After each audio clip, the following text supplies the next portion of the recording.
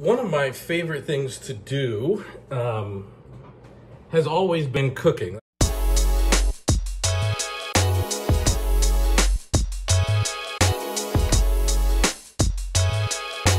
For whatever reason, I've always loved cooking.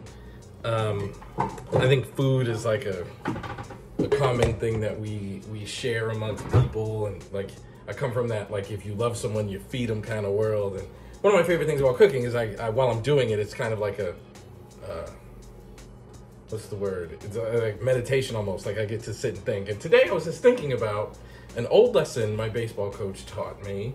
Um, and I think I've talked about this before, but it's on my mind now.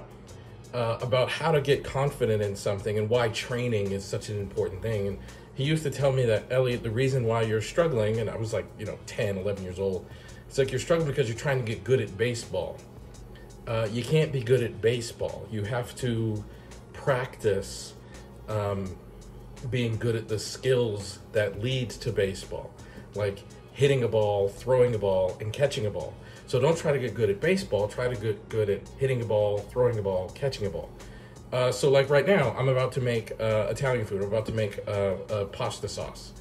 I can't get good at making Italian food, but I can get good at making pasta sauce. And that's actually how you learn and develop new skills.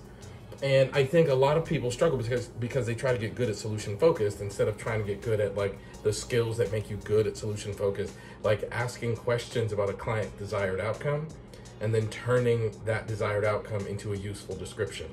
That's what you need to practice, and that's why training in this approach is so important. So anyway, I'm gonna go eat, I'm gonna cook and eat. I haven't eaten in a very, very long time and I'm starving, but I hope this message hits home for you. It's really important. Enjoy the video.